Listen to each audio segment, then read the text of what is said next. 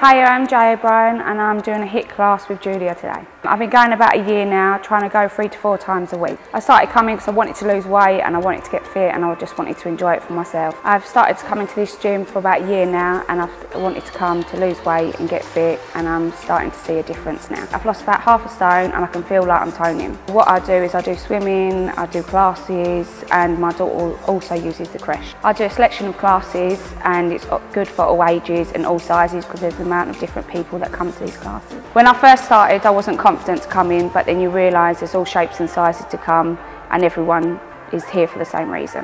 Um, I think the gym instructors are really good with the classes, they're fun, they make you want to be here and it's enjoyable. When I come in the door I feel always welcome, the reception ladies are lovely and they help you out with whatever you need. If you're nervous about coming to the gym I wouldn't worry because everyone's here and everyone supports each other.